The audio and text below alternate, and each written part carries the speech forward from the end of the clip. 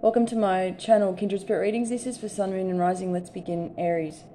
There is a female, a woman, uh, with a look on her face as though she's staring out to nowhere in particular.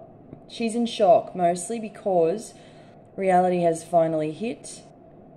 She's back to back with a male, a man who has a sad, worried, sad type of or worried look on his face.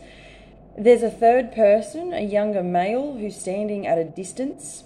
He's got his head down and he's not moving. The answer to this scenario is it's not going to happen. Next, there is a male confronting a female who is caught red handed.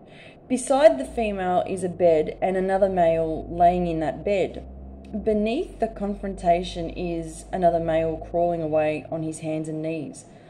Perhaps this is the female being all oblivious, so this is a way out for her.